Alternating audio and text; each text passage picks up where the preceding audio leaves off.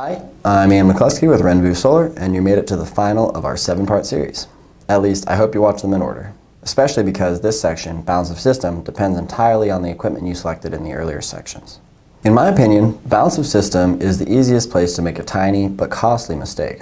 We're talking breakers, fuses, conductor sizing, combiner box and NEMA ratings, and the rest of the items that seem relatively boring compared to inverter and panel technology.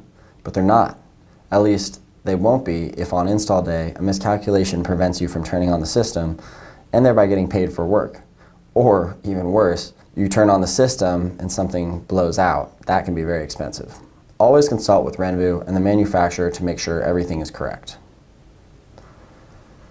Battery-based systems require more overcurrent protection than a standard system as a rule, but the first one, series fusing, is the same. If you're not familiar already, now is a good time to read up on National Electric Code Article 690.9, which discusses solar PV series fusing. Moving on, most grid-tie inverters have multiple inputs these days, so small DC combiners are increasingly rare, or at least are increasingly rare in the grid-tied solar sector, but not in battery-based systems. In most residential projects, you will need to combine multiple strings in parallel into a charge controller, or multiple charge controllers, and that requires an external DC combiner box with DC breakers or fuse holders. The minimum bus bar should be 1.25 times the short circuit current rating times the number of circuits in parallel. Charge controllers require breakers for their input and output.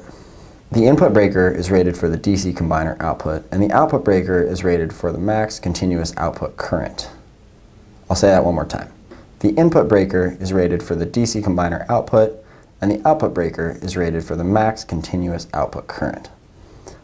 Always verify that conductors are large enough for the OCPDs they feed in NEC table 250.122.